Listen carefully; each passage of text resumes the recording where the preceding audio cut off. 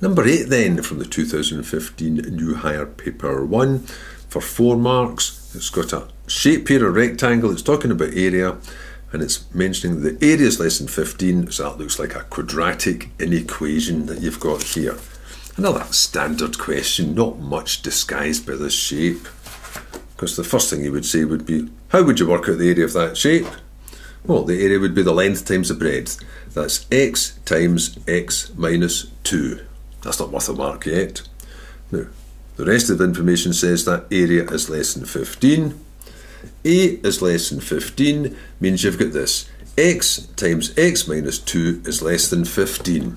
And that's the first mark, just for interpreting that picture, interpreting the situation, creating this model.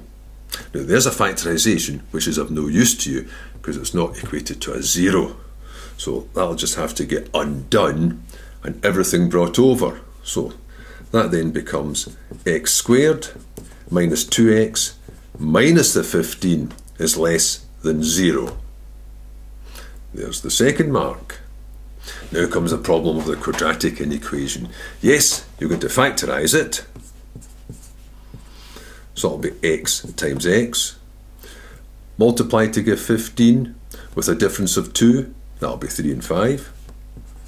The negative for the middle term goes to the larger one, so that must be the opposite, which is 3. And then that's where you stop following the normal procedure for solving an equation. What you don't do now is then say, oh, so either this is less than 0 or that is less than 0. If that was less than 0 and that was less than 0, the product would be greater than 0. You can do it by inequations but you have to be careful. You're better off just doing it by thinking of a picture of the answers. When is this less than zero? Recognizing that that's a positive quadratic. And that factorisation is handy because it tells you where this quadratic cuts the x-axis. It tells you where this quadratic switches from being above to below, from being greater than to less than zero. So here's this quadratic, and this is telling you it's got roots at negative 3 and 5, and it's this picture you should use to solve the inequation. So quite clearly looking at this, when is this thing less than 0? It's this part here. I'm not including those points, but it'll be anything between them. So the answer to this would be x is less than 5 but greater than, and you could combine that in one statement, negative 3. But with if that's simply been a coordinate question, that may well be fine. But when you've got these real situations, you have to check if these numbers make sense in terms of the real dimensions of a rectangle.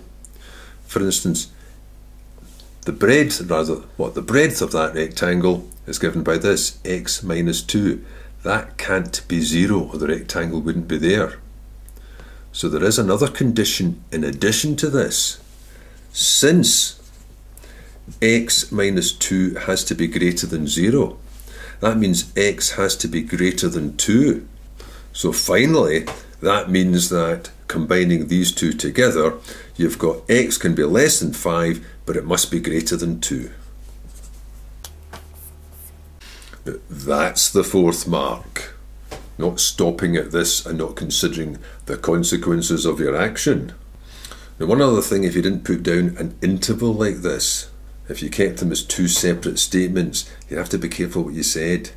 If you wanted to say this as your answer, x is greater than 2 and the other one, x is less than 5, don't write or, because or means anything more than 2 would do, 10, 20, and that says anything less than 5 would do. No, the two have to be linked as an interval. If you wanted to write them separately, you'd have to use the word and. If you put them separately with an or, you wouldn't get the last mark. That's fine here because that's an interval between 2 and 5.